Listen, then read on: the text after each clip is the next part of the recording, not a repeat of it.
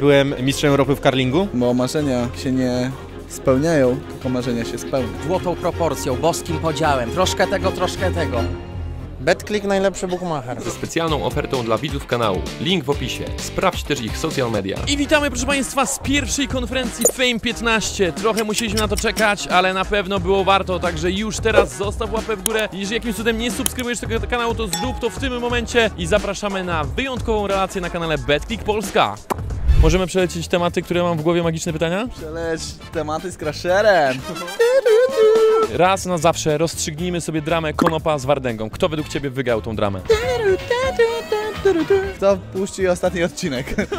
Teraz Wardęga. A tak to Konopski wcześniej, a jeszcze wcześniej Wardęga. ty Moim zdaniem w tym momencie nie wiem kto wygrał. No nie można tego powiedzieć. Bo Konopski miał ostatnio bardzo ładny argument. Miał. Ale tutaj mamy Sylwka. W tym ostatnim filmie wiem jedynie, że zrobił pułapkę na Konopskiego.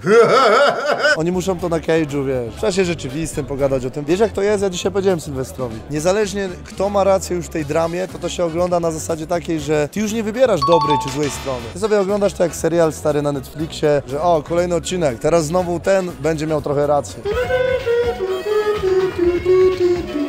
Raz na zawsze kończymy tą dramę Wardęgi z Konopiem i według Ciebie kto ją wygrywa? Ten, kto ostatni nagra odcinek. Ja mam wrażenie, że jeden i drugi ma swoje za uszami. Jeden i drugi o pewnych argumentach e, nie mówi wprost, nie dyskutuje na te tematy, które są dla niego niewygodne, pomija je celowo w swoich filmikach. Według Filipa Zabielskiego tę dramę wygrywa? Niestety ja nie śledzę tego. Ja nie żyję internetem, ja nagrywam se TikToki, jestem popularny w internecie, ale ja tym nie żyję, ja nie śledzę innych ludzi.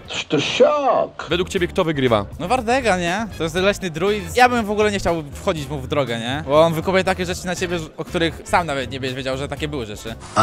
Walka wieczorna w Fame 15. Walka pań. Która według Ciebie zwycięży? Ciężko jest wybrać którą, ale mogę powiedzieć, że wiadomo, że kibicuję naszym. nie? Ja nie mam Boję się, problemu. powiem Ci, jednej rzeczy. Chciałbym, żeby ta walka nie, od, nie, nie było wygranej na punkty. Żeby nie zostawiać tego w rękach sędziego. Bo obawiam się, że jeżeli będzie bardzo wyrównana i wygra Marta, no to wiesz, jaki będzie wynik. Tak, że jest tu, tu, tak, ściągnięta, tak. gówno burza, tam... No, drogie panie, bardzo was proszę, nie zostawiajcie tego w rękach sędziów. Nie, nie, nie! Albo przynajmniej niech jedna z was mocniej dominuje. Tak, żeby ludzie nie mieli pretensji później. Szczerze Lil Masti, ale fajnie jakby wygrała Marta. I mam nadzieję, że mi pokaże, że się mylę. Jesteś w błędzie. Mam nadzieję, że się nie obrazi, jak to zobaczy, tylko pomyśli, a to ci k***a pokażę. Sex Masti. Masti. Slil Masti. Ty jak ty się nazywasz, bo zapomniałem. Dlaczego? Jakieś konkretne wskazanie, czemu tak? No bo jest lepsza. Po prostu. No, tego co wiem. Wydaje mi się, że seksmasterka. Jakieś y, dlaczego wskazanie, czy po prostu... No mam wrażenie, że dużo dłuższy staż treningowy. Generalnie patrząc na te walki, ja jestem bardzo mocno zaangażowany to, w to środowisko freak fightowe. Parterowo na pewno ją zmiażdży. No jeżeli Marta Linkiewicz nie, nie, nie utrzyma walki w stójce, no to na pewno będzie ciężko. Wydaje mi się, że Aniela po prostu jest zdolniachą i osobą taką inteligenc, inteligentną motorycznie. Mam wrażenie, że ona jest po prostu lepsza w tym wszystkim. Lepiej jej to wszystko wchodzi i ma dłuższy staż treningowy, więc no to predysponuje ją na pewno do tego, żeby wygrała. Ogólnie nie kibicuję ani jednej, ani drugiej. Mam do nich taki stosunek, że po prostu nic do nich nie mam, nawet... Nie mam nic do ciebie, nawet! Podziwiam w pewnym względzie obydwie panie, bo zaczynały od trochę takich dziwnych filmików, dziwnych rzeczy, a teraz y, stały się takie sportsmenki, tak, tak to się mówi, więc nawet szacun dla nich. Uważam ogólnie, że wygra chyba Lil Masti, z tego względu, że po prostu jest dużo bardziej doświadczona i ona, widać, że ona ma w sobie coś takiego, że ma taki charakter takiego wojownika. Linkiewicz też, ale mniej, więc jakbym miał obstawić pieniądze, bym obstawił na Lil Masti. Bardziej lubię e, Linki niż e, Lil Masti, więc jestem za Linki. Go girl! Go girl! Czy ty możesz sobie powiedzieć, że jesteś z siebie dumny? Jestem. A z jakich rzeczy jesteś stary dumny? Takich co robisz? Z wielu rzeczy są. Z aferek, z mojego podopiecznego Masnego Bena, z Fame MMA, ze znajomości z takimi fajnymi ludźmi jak ty. Wylizany. Jesteś z siebie dumny? Z niektórych rzeczy na pewno, z niektórych nie. To skupmy się na tym, z czego jesteś dumny. Znaczy, udało mi się wyjechać z małego miasta, osiągnąć moje marzenie z młodości, czyli stać się osobą rozpoznawalną w internecie, zbudować na tym jakiś biznes, zwiedzam świat, realizuję swoje marzenia, bo marzenia się nie spełniają, tylko marzenia się spełnia. Ładne to. Z czego jesteś dumny w swojej osobie? Z tego, że byłem e, mistrzem Europy w karlingu. Co? Jakby to jest moja największa duma, bo byłem zapasjonowany tym sportem odkąd mieszkałem w Holandii. Trenowałem 8 lat w karlingu. Mogę jedno? Nie. I że skończyłem studia inżynierę kosmiczną. A powiedz mi... Uuu. Też mamy tak, że wzrok podąża, co? Czy ty jesteś z siebie dumny? Jestem bardzo zadowolony z tego, jak mi ludzie odbierają. Jakby wiadomo, że mam jakąś tam rzeszę osób, które nie trawi mi z jakiegoś powodu. Nie, nie jesteś w stanie się każdemu przypodobać, ale w momencie, kiedy ja dostałem permabana na Twitchu i trochę więcej zacząłem żyć z ludźmi, jakby za, zacząłem zauważać, jak bardzo ludzie mnie doceniają i to bardzo zaczęło mi sklepiać. Ja zawsze miałem duże ego i miałem o sobie duże mniemanie, ale jestem zadowolony. Na, na pewno z tego, że doszedłem do Twitcha, do, do tego, do czego doszedłem. Mimo tego, że no nie byłem, tak jak twierdzi Franio, dupolizem, nie wchodziłem nigdy tam, gdzie mnie nie chcą. Ja zawsze byłem albo zapraszany, tak jak do Xayo Industries. Zaprosił mnie Xayo, tak jak Paelok zaprosił mnie na swojego pierwszego streama. Jestem zadowolony z tego, jaki jestem i no, mam wrażenie, że moi rodzice mogą być dumni. Ja na pewno jestem. Jestem bardzo dumny z mojej pięknej twórczości na TikToku. Moje filmy sprawiają uśmiech na twarzy setkom tysięcy osób. Poprawiam ludziom humor. Często też e, edukuję.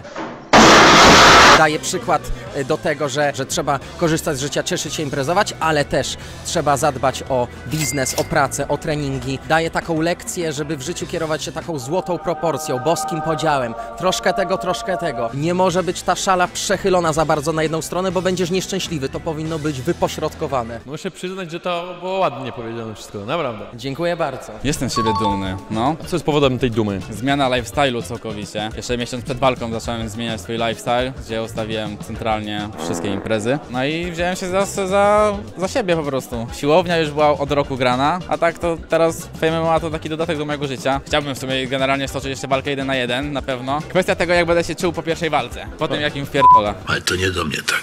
Czy czasem można kłamać? Można. Dla żartów. Tylko wtedy. Albo dzieci. Można kłamać dzieci? Można. Czy można kłamać? Według ciebie? No można, przecież nikt nie zabrania. Można, jak najbardziej. Jeżeli chcesz, powiedzmy, w pewnym sensie jakiejś osobie się przypodobać na przykład, albo często jeżeli chodzi o pieniądze, albo jak coś ukrywasz, albo jak mówisz, że coś zrobisz i czegoś nie zrobisz. Jakby zdarza się każdemu na pewno kłamać. Każdy jest w pewnym stopniu hipokrytą, każdy czasami zmienia zdanie z jakiegoś, z jakiegoś powodu, ale ja staram się kłamać tylko wtedy, te kłamstwa tak zwane ku większemu dobru, żeby dajmy na to, no nie chcę mówić całej prawdy mamie, żeby ona się nie martwiła, że miała problemów ze snem. Uważam, że no czasami można wtedy troszeczkę zboczyć z prawdy, jeżeli ktoś miałby się martwić, niepotrzebnie czymś przejmować, jeżeli no ta prawda mogłaby kogoś yy, urągać. Można kłamać albo warto kłamać? Czasem wręcz trzeba. Kiedy? Zależy od sytuacji. No to jest wojna, wchodzą do twojego domu, pytają się, czy jest ktoś jeszcze, ty mówisz, nie, nie ma nikogo. A ludzie są schowani na przykład w piwnicy albo w szafie.